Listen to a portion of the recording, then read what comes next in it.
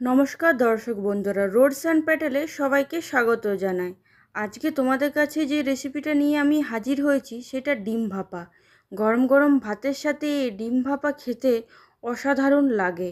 আপনাদের যদি আমার এই ভিডিও ভালো লাগে, তাহলে অবশ্যই লাইক কমেন্ট শেয়ার করতে ভুলবেন না। সাবস্ক্রাইব করার সময় বেল নোটিফিকেশনটা ক্লিক করে নেবেন, তাহলে আমার রান্নার নতুন নতুন আপডেট সবার আগে আপনারা পেয়ে যাবেন।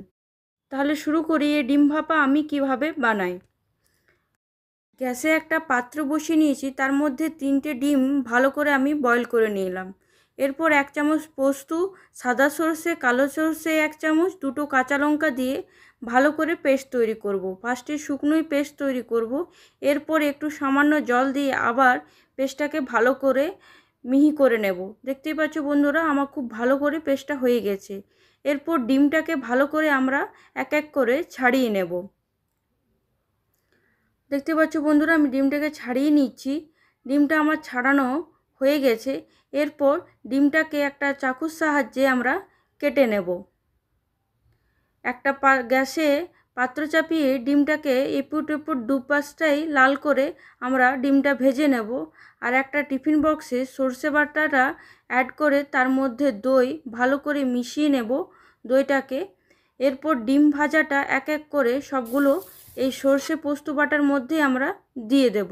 ভালো করে মিশিয়ে নেওয়ার পর এর মধ্যে কাঁচা সর্ষের তেল দু চামচ আর কাশ্মীরি রেড চিলি পাউডার এক চামচ চার পাঁচটে তোমরা কাঁচা লঙ্কা দিতে পারো। আমি এখানে তিনটে কাঁচা লঙ্কা ইউজ করেছি।